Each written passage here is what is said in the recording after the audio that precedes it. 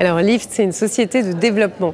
Euh, je parle de croissance et d'innovation. Pourquoi? Parce que euh, les clients que j'accompagne, donc majoritairement des acteurs du BTP, donc euh, qu'il s'agisse d'entreprises de la construction ou de bureaux d'études, ou voilà, toutes les tous les acteurs du BTP euh, ont des problématiques de développement et moi je vais les accompagner à la fois sur le plan humain, donc on parle de croissance euh, des hommes avec un grand H et des femmes aussi bien sûr, et on parle des croissances des entreprises et euh, je vais mettre en œuvre des partenariats stratégiques pour ces sociétés.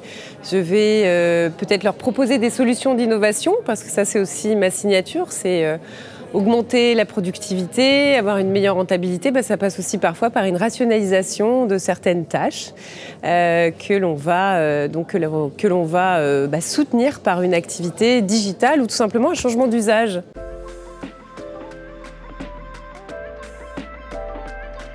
Alors, très humblement, Ma conviction personnelle, euh, je suis totalement euh, convaincue et même persuadée, si vous connaissez la différence euh, que le latin nous propose, donc convaincue par les faits, bah, il faut absolument mener une action.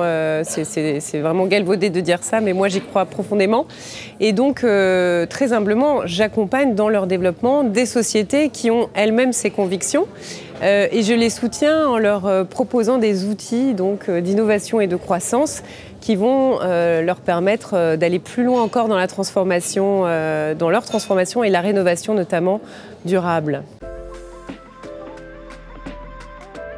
Dès le début, dès qu'on initie le projet, eh on peut d'ores et déjà utiliser des logiciels qui vont avoir un impact carbone inférieur à ceux qui vont euh, avoir des technologies euh, qui ne vont pas permettre, avec un code un peu obscur et ce genre de choses, euh, de faire des économies d'énergie. Voilà.